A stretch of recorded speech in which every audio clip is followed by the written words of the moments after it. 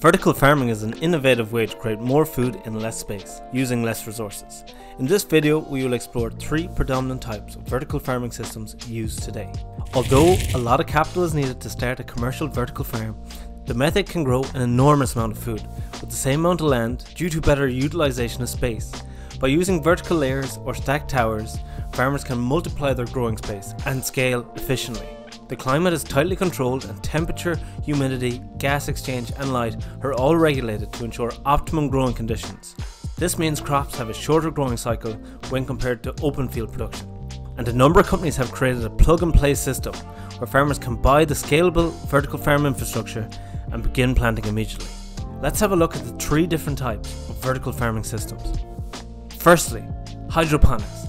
This is the most common commercial system used by large vertical farms. This technique for vertical farming involves growing plants without the need for soil. Hydroponic systems submerge the plant roots in a nutrition-rich liquid solution. Instead of using soil, materials such as gravel and sand are used as substitute for supporting the plant roots. This allows macronutrients to be taken up by the plants in large amounts. One company creating the plug-and-play infrastructure for farmers is Eponics Autocrop. It is a modular vertical farm solution that farmers can add to their existing farm to accelerate crop growth and yield while minimizing operational costs.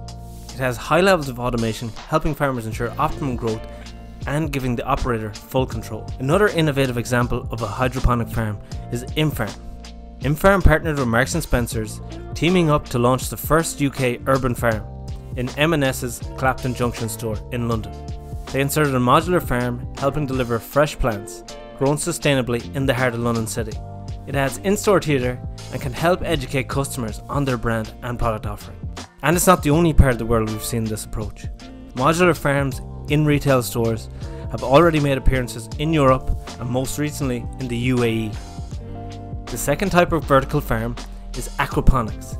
Aquaponic systems take a hydroponic system one step further, combining plants and fish in the same ecosystem.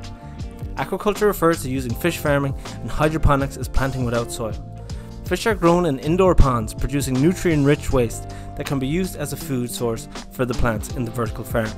The plants in turn filter and purify the wastewater, which is recycled to the fish pond, creating a closed-loop system.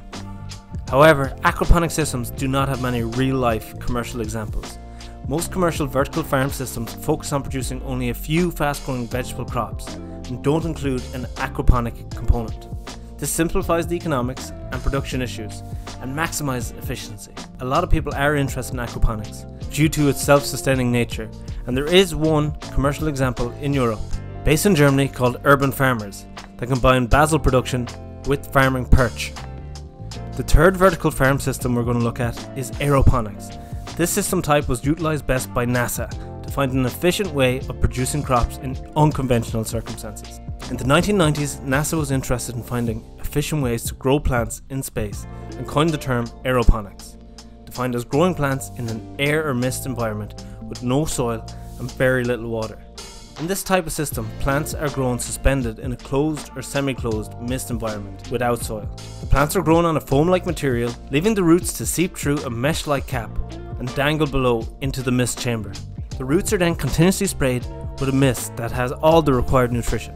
Although not the most popular vertical farm system, we are seeing more and more small vertical farms incorporate aeroponic towers into their setup. In this system, plants are grown on a soilless medium called rockwool and are grown in vertical tubular structures with plants merging on either side. If you enjoyed this video, check out our other videos on vertical farming. And don't forget to subscribe to FoodVerge